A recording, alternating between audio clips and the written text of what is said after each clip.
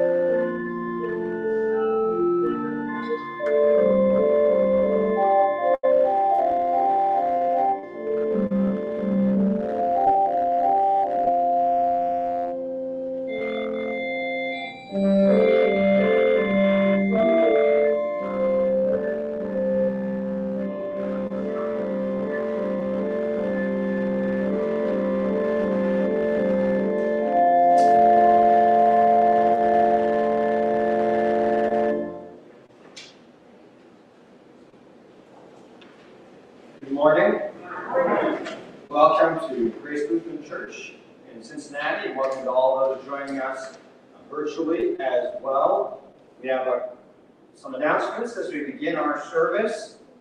First of all, our flood bucket project is underway. Items needed are displayed on a bulletin board in the entryway.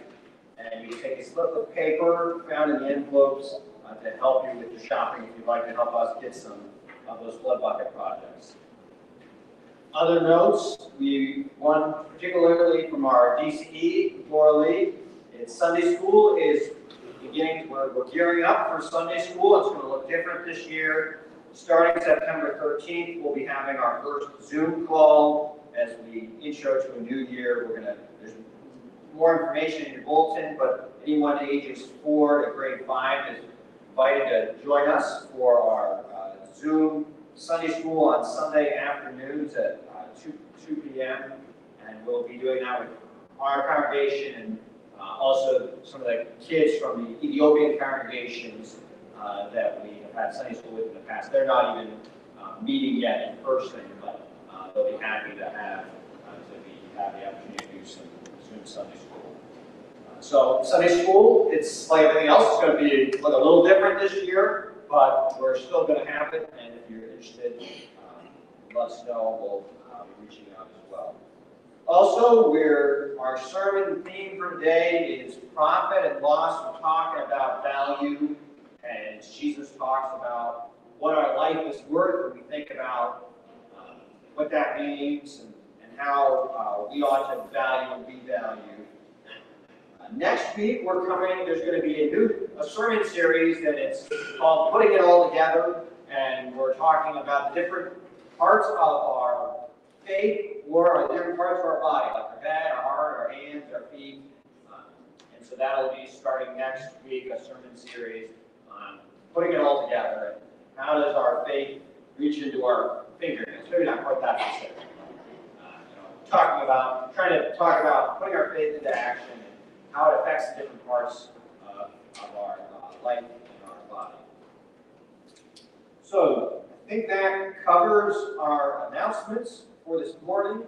Um, Oh, one other note, virtually, we're, uh, we're doing Facebook Live at both services, and now we're transitioning, doing something slightly different. We're doing uh, this later on, a higher quality YouTube, but YouTube will no longer be live.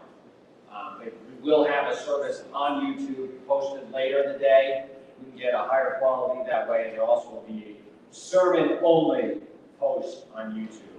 But we'll still have both services Facebook Live, a slight adjustment uh, in our, uh, in our virtual uh, service, so. We'll begin our service now with the ringing of the bell and the opening.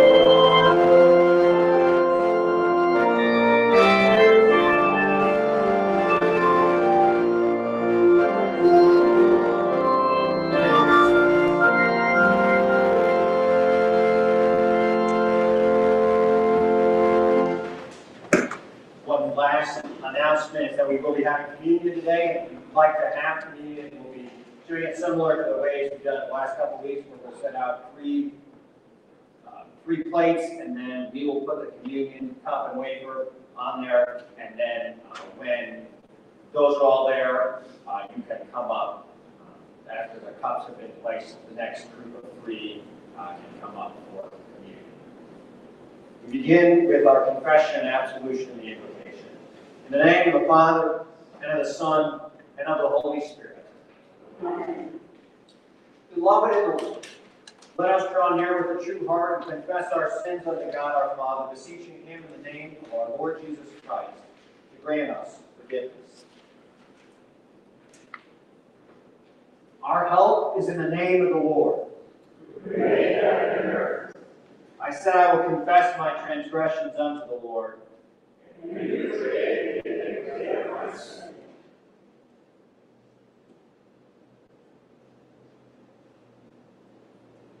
Almighty God, merciful Father, I, poor miserable sinner, confess unto you all my sins and iniquities, with which I have ever offended you, and justly deserve your dreadful and eternal punishment. But I am heartily sorry for them, and sincerely repent of them. And I pray you of your boundless mercy, and for the sake of the holy, innocent, of your sufferings and death, of your beloved Son, Jesus Christ, to be gracious and merciful to me, a poor. Upon this your confession, I, by virtue of my office as a called and ordained servant of the word, announce the grace of God unto all. And in the stead, by the command of my Lord Jesus Christ, I forgive you all your sins. In the name of the Father, and of the Son, and of the Holy Spirit. We continue with the introit. Delight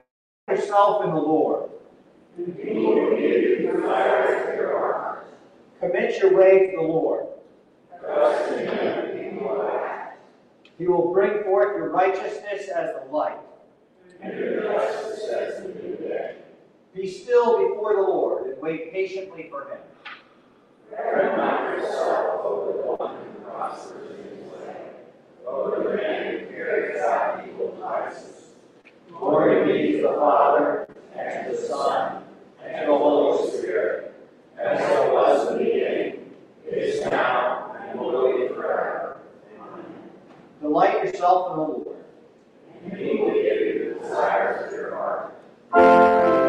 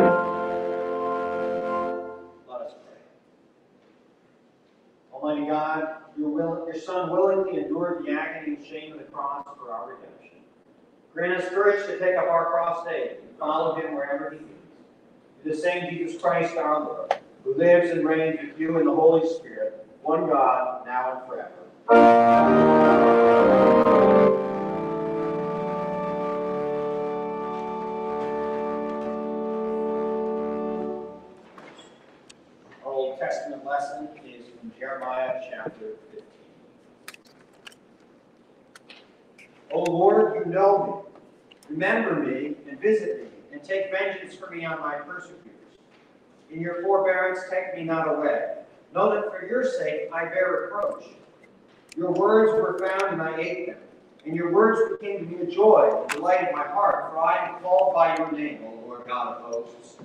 I did not sit in the company of revelers, nor did I rejoice. I sat alone, because your hand was upon me. You had filled me with indignation. Why is my pain unceasing, my wound incurable, refusing to be healed? Will you be to me like a deceitful brook, like waters that fail? Therefore, thus says the Lord If you return, I will restore you, and you shall stand before me. If you utter what is precious and not what is worthless, you shall be as my mouth. They shall turn to you, but you shall not turn to them. And I will make you to this people a fortified wall of bronze. They will fight against you, but they shall not prevail over you. For I am with you to save you, deliver you, declares the Lord. I will deliver you out of the hand of the wicked and redeem you from the grasp of the ruthless. This is the word of the Lord. This lesson is from Romans chapter 12. Let love be genuine. Abhor what is evil, hold fast what is good. Love one another with brotherly affection. Outdo one another in showing honor. Do not be slothful in zeal, but fervent in spirit. Serve the Lord. Rejoice in hope. Be patient in tribulation. Be constant in prayer. Contribute to the needs of the saints and seek to show hospitality. Bless those who persecute you. Bless and do not curse them. Rejoice with those who rejoice. Weep with those who weep. Live in harmony with one another. Do not be haughty, but associate with the Lord. Never be conceited. Repay no one evil for evil, but give thought to do what is honorable in the. If possible, so far as it depends on you, live peaceably with all. Beloved, never avenge yourselves, but leave it to the wrath of God, for it is written, Vengeance is mine, I will repay, says the Lord. To the contrary, if your enemy is hungry, feed him. If he is thirsty, give him something to drink. By doing so, you will heap burning coals on his head. Do not be overcome by evil, but overcome evil with good. This is the word of the Lord. Thanks be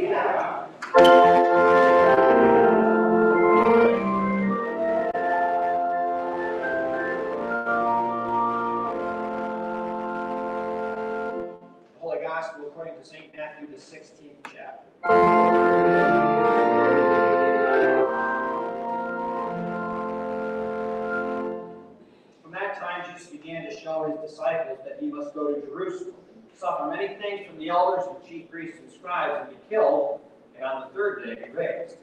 And Peter took him aside and began to rebuke him, saying, Far be it from you, Lord, this shall never happen to you.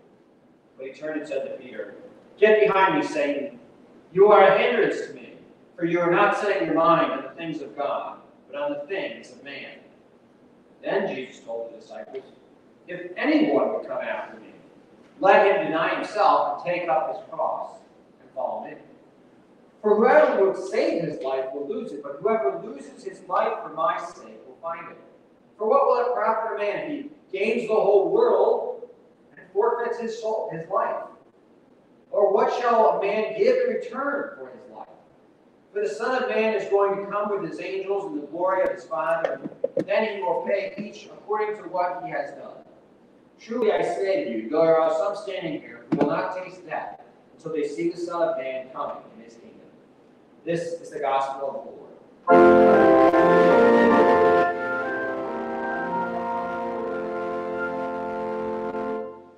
Our faith using the words of the Nicene Creed. I believe in one God, the Father Almighty, maker of heaven and earth, and all things visible and invisible, and in one Lord Jesus Christ, the only begotten Son of God, begotten of his Father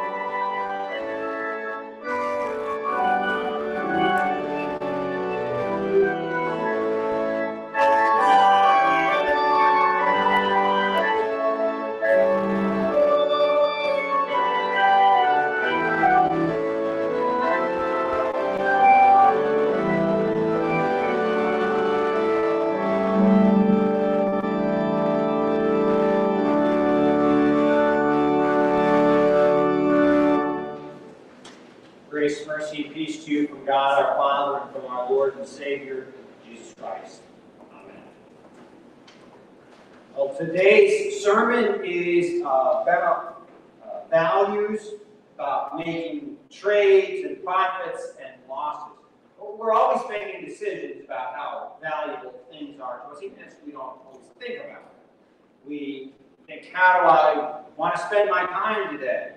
What do I want to buy? How will I invest? Now, we all do this from the youngest age on. Now, when I was a kid, I certainly wasn't interested in stock portfolios, but there were investments that I carried out. I was heavily into football and baseball card collecting. Now, I imagine you might had some sort of collection when you were a kid, and yours might have a similar end result or bottom line as mine did. I had over a thousand, well, I still have it in my basement, over a thousand of my favorite football team, football cards, just that one team, uh, they don't have a name anymore, Uh, in my mind, they were a, not only a collection, they were an investment. I mean, it would have probably been better if I had cheered for a team that was a little better than my football team. Maybe it would have paid off a little better. But um, the rookie card of Gary Clark or uh, baseball over the, I think I had over a, have hundred Cal Ripken junior cards in my mind. They were one day going to be worth thousands. I even eventually, uh, or even occasionally bought a Beckett magazine. Now, you probably don't know but it was a monthly magazine that told you how much your cards were worth. Most cards were worth one to five cents, now they're like 0.5 cents. Um, while those that were stars were maybe more like 50 cents or a dollar, or at least that's what Beckett told you to make you feel better.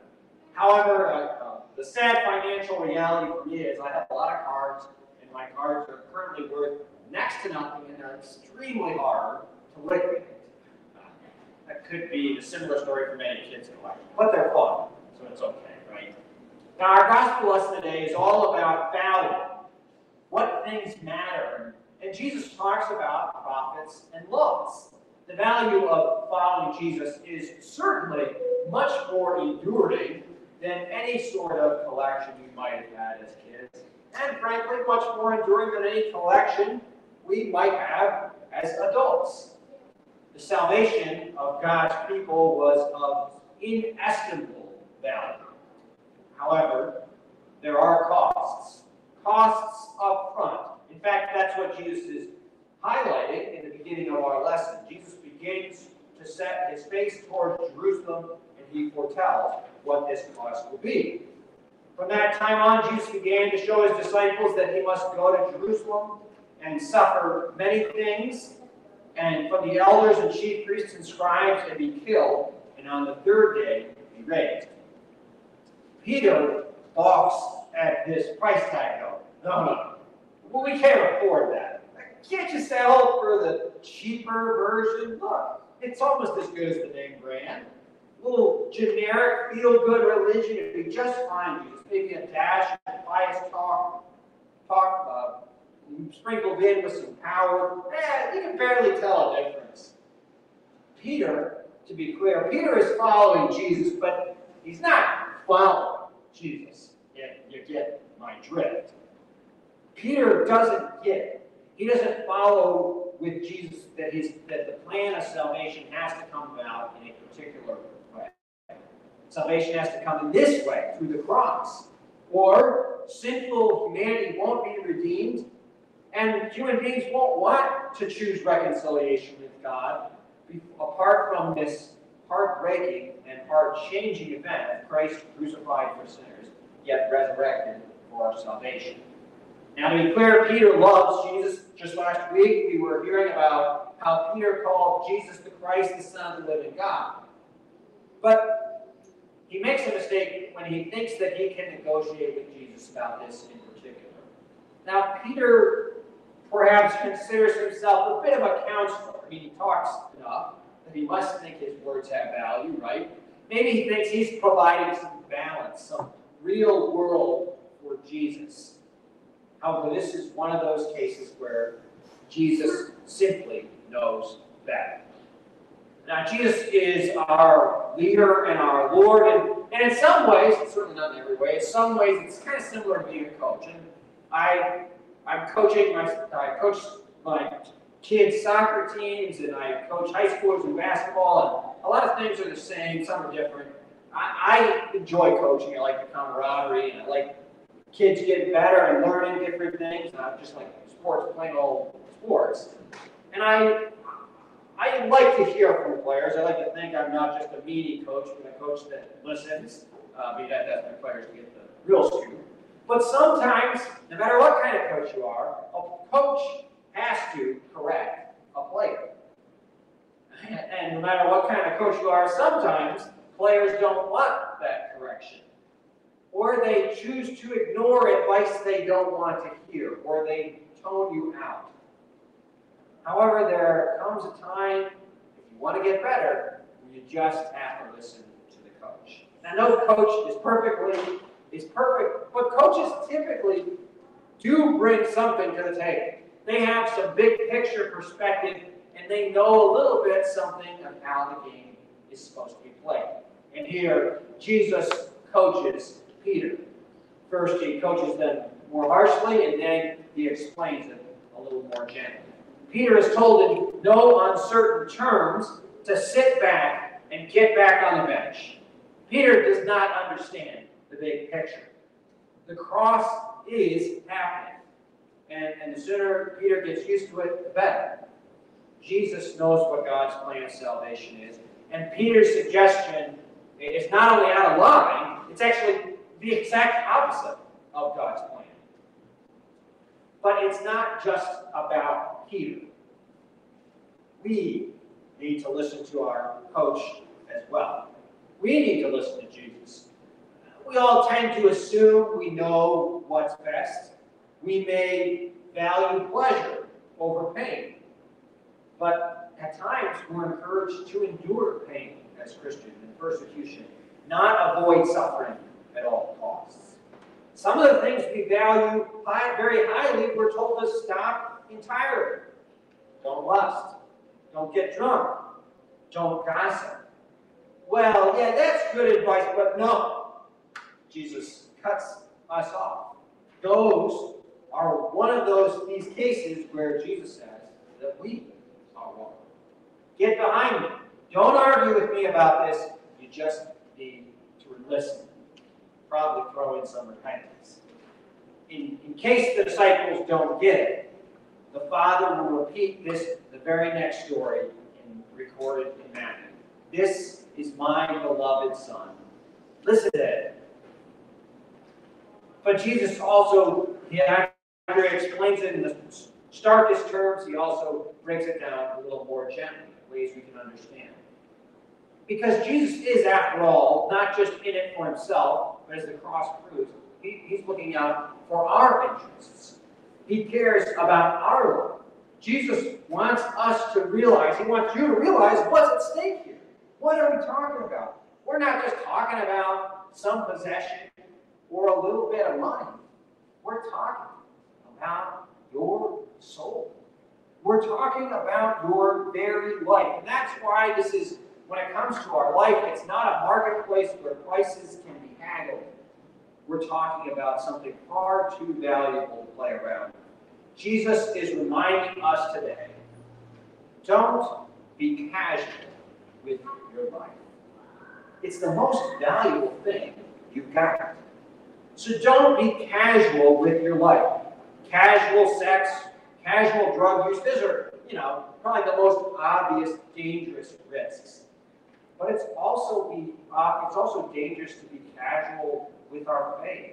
We're overly casual with our time.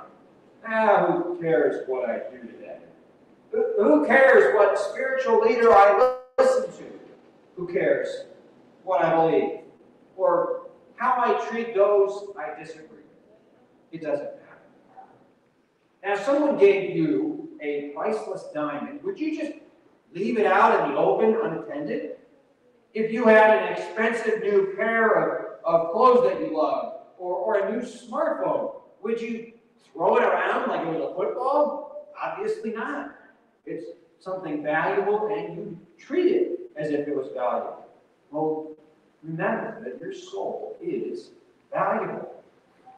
Your time, your conversations, the direction your life is headed, those things matter. Who you listen to, what you do with your life, they matter, and they matter because you matter. You matter to God. Your life is not valuable, is not uh, unvaluable or cheap or disposable. So, so don't sell out or settle.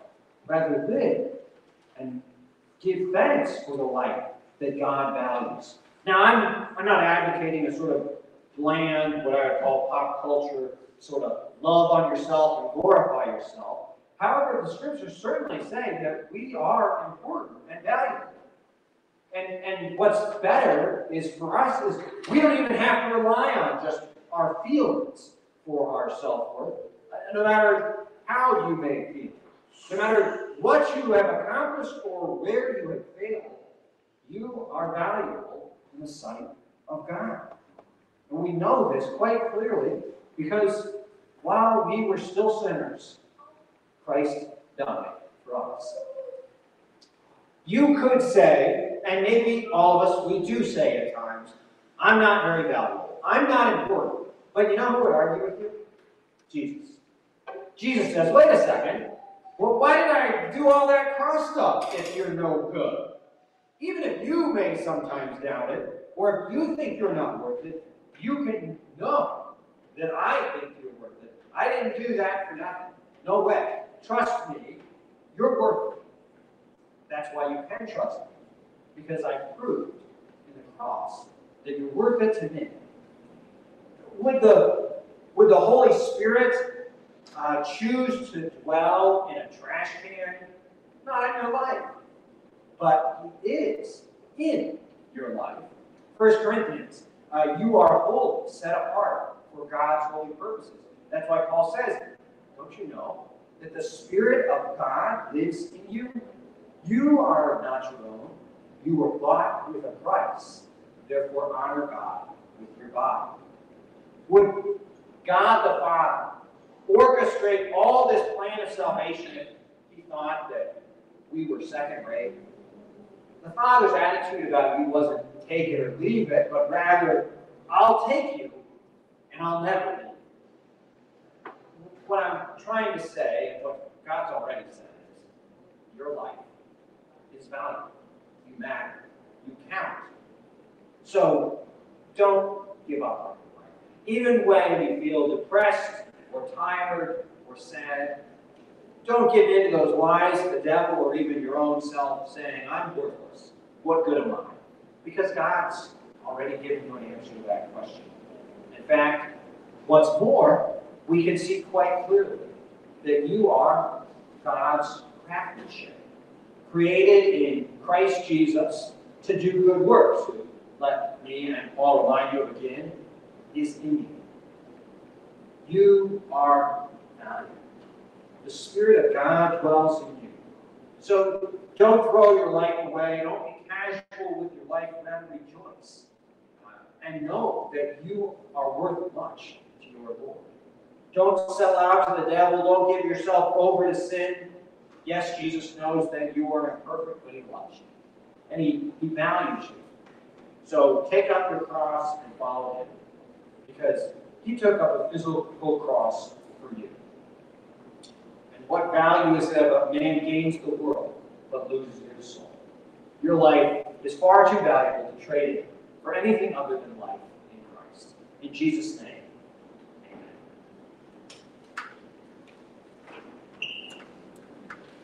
amen. We continue by collecting our offering uh, or, and having some music put your offering in the offering box, or you can do that later, or you can do sober.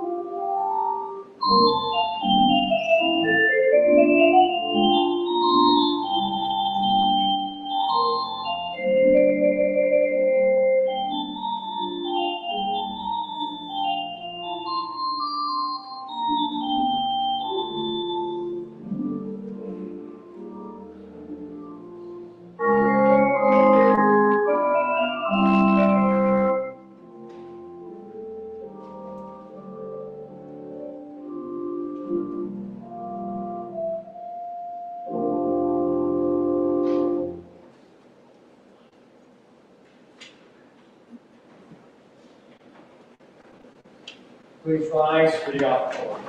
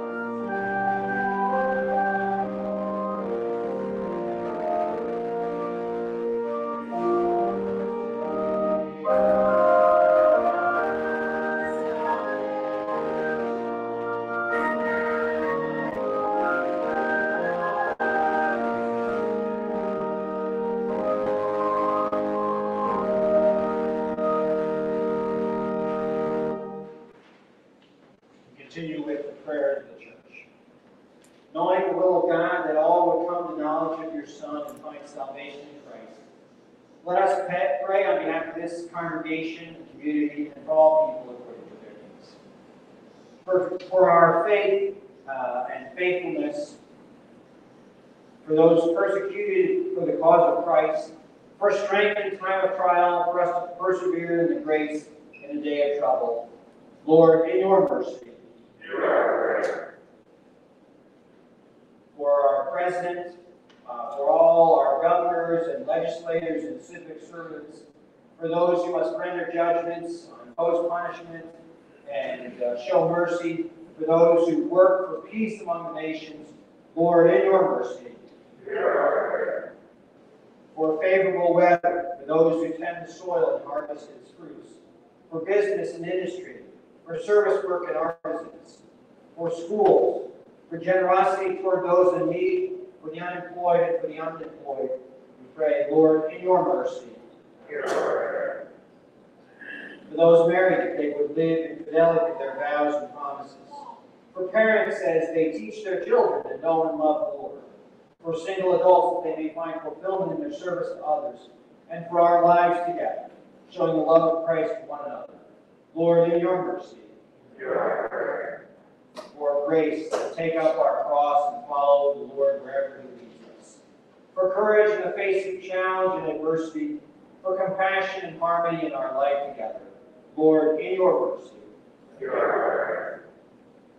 For all those who are sick or ill or, struggling in some way or another, who've been hospitalized recently, uh, we pray that you especially be with Dave and Edie Hampton, with Billy Beinkamper, Lane Cheesebrew, Dave and Linda Isley, Esther Goldfuss, Becky Canberg, Linda McCabe, Terry McCabe, Nancy Newhouse, Charlie Otten, Don Nimmo, Lester Rampage, Ken Ross, Rita Stone, Becky Stamper, David Stamper, Ruth Thomas, Clyde Wallenweber, as well as uh, friends of the congregation, Art, Bucky, and Beth.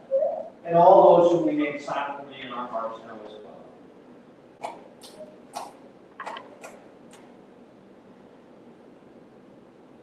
Lord, you know all these, and we ask for your mercy, and we commend them to your care. Lord, in your mercy. For holy lives of faith, for faith received the Lord's gift of his flesh and his blood in the holy sacrament, and for all who are gathered here, that we may present our lives as living sacrifice, holy and acceptable to God. Lord, in your mercy. Almighty God, you have forgiven our sins and delivered us from death through our Lord Jesus Christ.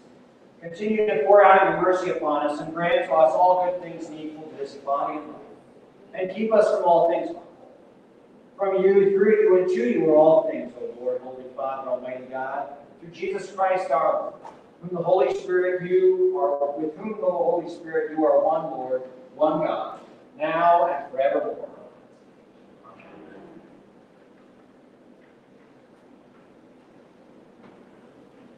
Continue with the service of the sacrament.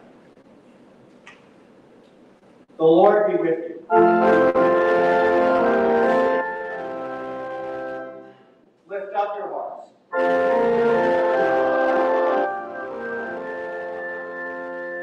Let us give thanks unto the Lord our God.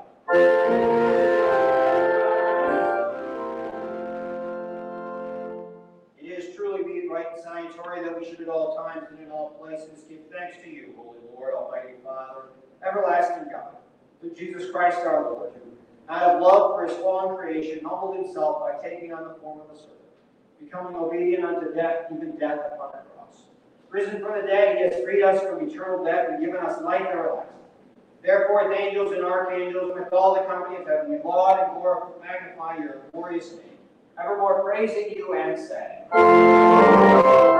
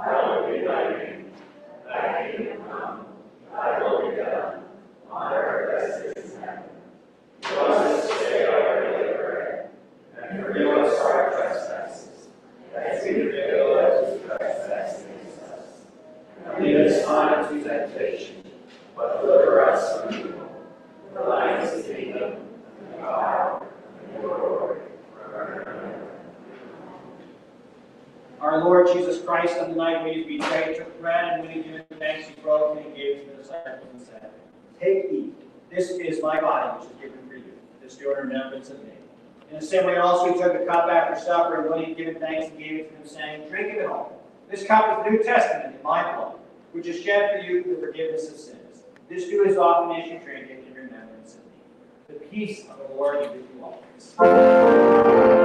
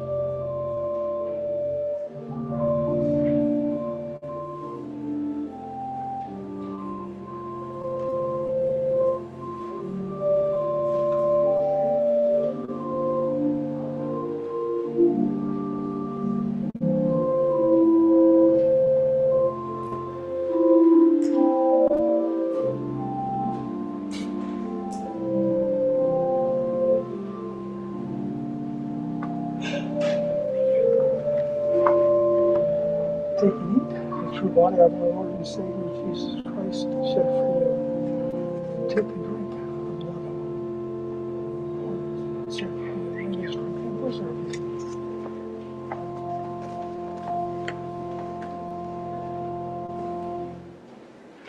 Please stand for the announcements.